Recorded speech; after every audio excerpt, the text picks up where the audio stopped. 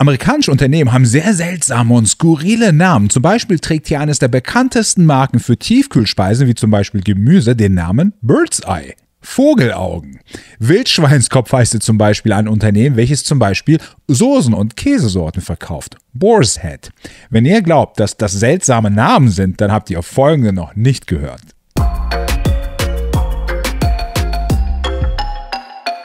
Nummer 10 auf meiner Liste ist das Unternehmen We Buy Ugly Houses. Übersetzt, wir kaufen hässliche Häuser. GmbH. Das Unternehmen ist im Grunde aus einem Slogan in Plakaten entstanden und daraus haben die dann eine eigene Entität gegründet, welches bis heute noch als Trademark sehr erfolgreich im Geschäft ist. In den USA geht es einfach darum, Lächeln dem Konsumenten ins Gesicht zu zaubern. Ja, Konsumenten merken sich den Slogan und dann fangen die dort anzurufen, weil die dann so ihr Haus verkaufen wollen. Bingo, Ziel erreicht, ja? Erfolg. Boom. Dabei spielt es gar keine Rolle, ob dein Haus wirklich hässlich ist oder nicht.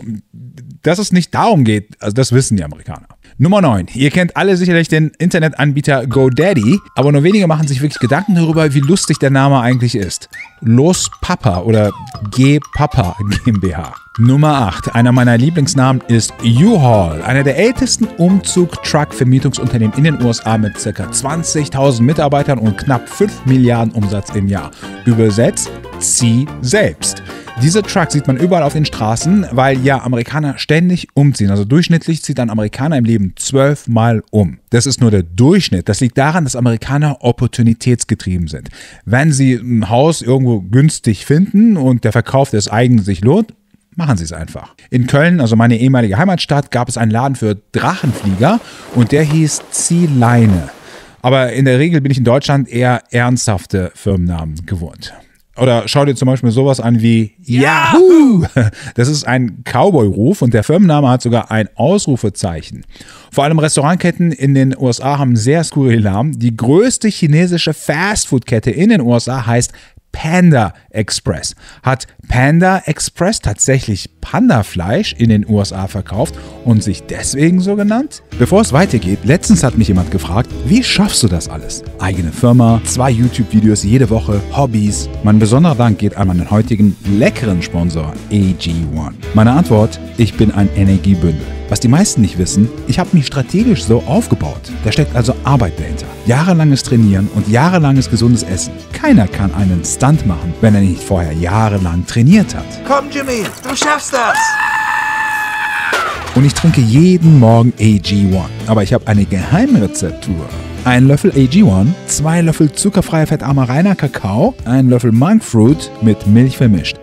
Warum Kakao? Der pure AG1-Pulver riecht und schmeckt mir wie Schokolade. Ich habe das Gefühl, da muss mehr Kakao rein. Und am Ende schmeckt es wie ein Schokoshake. Aber in Wirklichkeit enthält AG1 hochwertige Inhaltsstoffe, Vitamine, Mineralstoffe, Botanicals, Bakterienkulturen und weitere Zutaten aus echten Lebensmitteln wie Mikronährstoffen in hoher Bioverfügbarkeit, die besonders gut vom Körper aufgenommen werden. Das ist quasi ein Elixier des Lebens. AG1 ist im Abo-Modell erhältlich und wird ganz entspannt monatlich frei Haus geliefert. Der Lieferrhythmus kann beliebig angepasst werden, ganz ohne Vertragslaufzeit. Der Vertrag kann jederzeit pausiert oder gestoppt werden. Exklusiv nur für meine Zuschauer gibt es mit dem Link unten in meiner Beschreibung beim Abschluss eines Abos einen kostenlosen Jahresvorrat Vitamin D3 und K2, fünf praktische AG1 Travel Packs zusätzlich und außerdem gibt es das AG1 Welcome Kit inklusive Aufbewahrungsdose und Shaker als Geschenk dazu. Und nicht vergessen, es gibt eine 90 Tage Rückgabegarantie. Okay, weiter im Thema. Panda Express hat wie viele andere Firmennamen in den USA keinen besonderen Hintergrund. Ich muss euch enttäuschen, denn äh, viele Namen sind hier einfach nur sinnfrei. Und Deutsche haben ja so oft, oft die Tendenz, eine Bedeutung darin erkennen zu wollen. Und zum Beispiel, ja, also welche berühmte Kaffeeketten kennt ihr eigentlich oder kennt der durchschnittliche Deutsche oder Österreicher, Schweizer? Klar, Starbucks ist Nummer eins, ja. Aber was noch? In den USA gibt es zahlreiche weitere Kaffeeketten außer Starbucks. An zweiter Stelle mit dem höchsten Umsatz steht Dunkin. In Europa ja auch bekannt unter Dunkin Donuts. In den USA sagen wir nur Dunkin, also, also tupfen. Ja? Also man soll ja den Donut also quasi in den Kaffee reintupfen und somit ist Dunkin ein Kaffeeladen. Und nicht unbedingt jetzt ein Donutladen, wie viele fälschlich in Europa denken, denn die Donuts von Dunkin' gelten in den USA, zumindest hier in San Diego, eher als schlechte und geschmacklose Donuts. Also kein Amerikaner, die mit Anspruch, würde jetzt bei Dunkin' Donuts kaufen und diese zu einer Party mitnehmen. Das wäre so, als würdest du in Deutschland zu McDonalds gehen und Salat kaufen und dann zu einer Geburtstagsparty mitnehmen. So, ich habe Salat mitgebracht. Jedenfalls, deswegen gibt es hier auch von Dunkin' ja auch den Kaffee im Supermarkt zu kaufen. So wie bei euch Eduscho oder Jakobs gibt es hier Dunkin' und Starbucks Coffee, Kaffee und weitere Sorten im Supermarkt.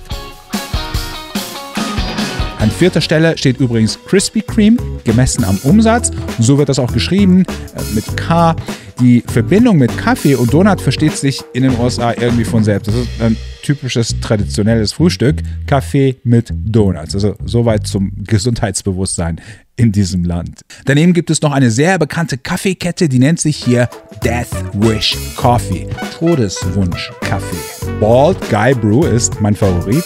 Übersetzt Glatzenkopf-Typ Rösterei. Ihr wundert euch vielleicht, äh, aber das sind keine kleine oder unbekannte Namen, sondern ich rede hier von richtig großen Ketten und Unternehmen. Mittlerweile habe ich ja auch mitbekommen, dass es Five Guys in Deutschland gibt, dank eurer Kommentare, die ich übrigens alle lese. Probiert es gerne aus, ja, wenn ihr mir nicht glaubt. Einfach freundlich und nett eine Frage stellen oder irgendwas. Ich antworte darauf.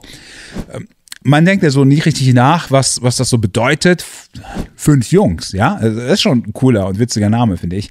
Ich frage mich, ob äh, Five Guys mich verklagen würde, wenn ich als Wettbewerber eine neue Kette eröffnen und das dann Five Girls nennen würde, also fünf Mädels oder, oder noch was. Two Guys, Three Girls. Oder noch besser, also so nenne ich mein Restaurant in den USA. Two Guys, Two Girls, No Baby. Whataburger ist auch ziemlich cool übersetzt. Was für ein Burger. So nach dem Motto, was für ein geiler Burger, Alter. What a Burger. Könnt ihr euch in der Stadt vorstellen, dass es eine Burgerkette gibt, so nebst McDonald's und Burger King, der sich geiler Burger nennt und würdet ihr dort speisen. Einer der größten Burgerketten ist ja auch Fat Burger.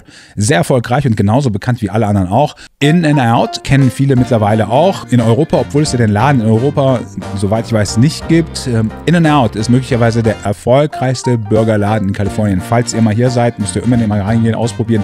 Wenn ihr mir ein Video schickt, wo in einem In and Out Laden nicht mindestens 20 Leute Schlange stehen, egal zu welcher Uhrzeit, also Drive-Thru inbegriffen, lade ich dich in San Diego zu einem In-N-Out-Laden ein. Geht auf mich, wirst du aber nicht finden. Ja, keine Chance. Es ist immer rappelvoll, während fast jeder McDonalds-Laden hier mittlerweile dagegen ziemlich leer ist. Übersetzen könnte man das so mit rein raus, also rein raus, so rein und raus abgekürzt, rein und raus.